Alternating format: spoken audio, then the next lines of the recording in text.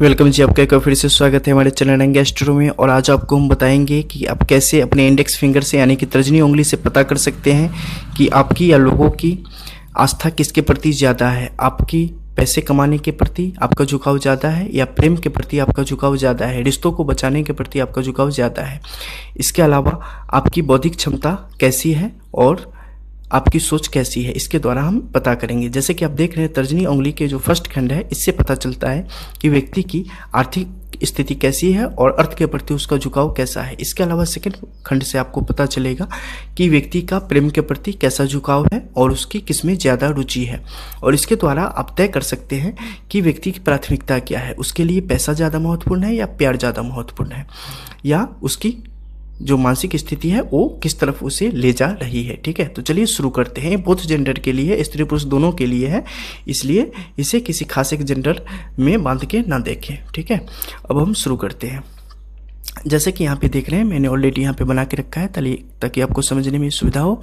तो यहाँ पे जो ये सबसे फ़र्स्ट वाला, ये जो आपका खंड है, जो कि आपको अगर यहाँ से आप अलग कर देंगे इसे, इसके संधि रेखा से, जहाँ से उंगली शुरू होती है तो यहाँ से लेके यहाँ तक के खंड को, आप जो फ़र्स्ट खंड है फ़र्स्ट बोर्ड है, ये आपके आर्थिक सोच से संबंधित है, आर्थिक हितों से संबंधित है। ये जो सेकेंड यहाँ अलग से जो है, जो कि आपके सेकेंड बीच की संधि रेखा आपने छोड़ देनी है, संधि रेखा के ऊपर से जो है यहाँ से लेके और ये तीसरे खंड के मध्य तक ये आपकी बीच वाली रेखा, इससे पता चलता है कि व्यक्ति का प्यार के प्रति कैसा झुकाव है। इसके अलावा इससे पता चलता है कि व्यक्ति मूल रूप से कैसा है और किस तरफ़ वो ज़्यादा जा रहा है, ठीक है? तो अब हम देखते हैं कि कैसे हम पता करें कि व्यक्ति का झुकाव किस तरफ़ ज़्यादा है।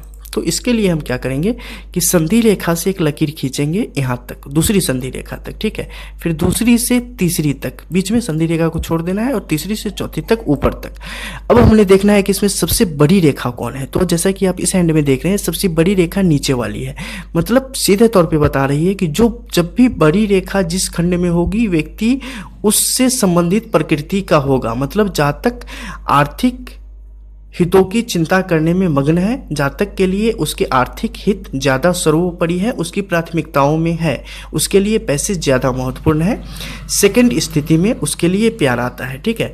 तो पैसा इसके लिए महत्वपूर्ण हो गया, उसके बाद ही इनके लिए प्यार की स्थिति आती है। अब मान लो कि अगर यहाँ पे उल्टा हो, ठीक है? यहाँ पे ए स्थिति यहाँ से यहाँ तक छोटी हो और ये यहाँ से यहाँ तक बड़ी हो मतलब क्या होगा? व्यक्ति के लिए रिश्ते, परिवार, उसका प्यार उसके लिए ज़्यादा महत्वपूर्ण है, पैसों की प्रायोरिटी सेकेंड है, ठीक है? पैसे कमाने हैं, कमाएँगे, सब कुछ होगा। लेकिन प्रायोरिटी बेसिस पे बात करें तो मेंटली कि हाँ आंतरिक रूप से उनके लिए क्या महत्वपूर्ण है तो आंतरिक रूप से इनके लिए प्यार ज़्यादा महत्वपूर्ण है। पैसे दो मिनट के लिए ना भी आए, चलेगा, लेकिन प्यार में कोई कमी नहीं होनी चाहिए। रिश्ते में खटास नहीं आनी चाहिए तो इनके लिए ज़्यादा महत्वपूर्ण हो जाता है। अभी तीसरे से हमें क्या पता चलता है? मान लो कि अब किसी का ए भी एक जैसा हो ए भी एक जैसा हो और ये सबसे बड़ा हो तो ऐसी स्थिति में क्या होगा? दोस्तों, ऐसे बहुत ही कम लोग होते हैं, लेकिन जो भी होते हैं ना, उनका जीवन काफ़ी कष्टप्रद होता है। ऐसे लोग बहुत ही अच्छे दिल के होते हैं, बहुत ही शांत स्वभाव के होते हैं। किसी का कुछ बुरा नहीं करते, लेकिन ना इन्हें ज़िंदगी में पैसों, पैसे ज़्यादा मिल पाते हैं न इन्हें इनका प्यार मिल पाता है और ज़िंदगी काफ़ी तकलीफ़ में इनकी जाती है। तो ये स्थितियाँ इनके लिए मुश्किल पैदा करती है। अब जो सारी मैंने स्थितियाँ बताई, उसमें मान लो कि आपकी आर्थिक स्थिति बड़ी है, लेकिन आपकी मतलब आर्थिक सोच बड़ी है, लेकिन आपको आर्थिक फ़ायदा नहीं हो रहा है। मतलब क्या? जब भी यहाँ पे कोई आड़ी रेखा इसे काट दे तो समझो कि आपके जब भी इस खास खंड में अगर आड़ी रेखा चलने लगे तो समझो उससे संबंधित आपको परेशानी काफ़ी आ रही है। इसके अलावा मान लो अगर यहाँ पे ऊपर की तरफ़ रेखाएँ, महीन महीन रेखाएँ ऊपर की तरफ़ चलने लगे। मतलब ये आपके संघर्ष को दर्शाती है। काफ़ी परिश्रम के बाद आपको धन की प्राप्ति होगी। यहाँ पर बीच में अगर कोई आरी रेखा काट दे ब्रेकअप होना है, आपकी ज़िंदगी में प्रेम संबंधों में खटास आनी है, ऐसी मुश्किलें आ जाती हैं, ठीक है? अब ऊपर वाले भाग से हम कैसे पता करेंगे कि हाँ क्या सिचुएशन है?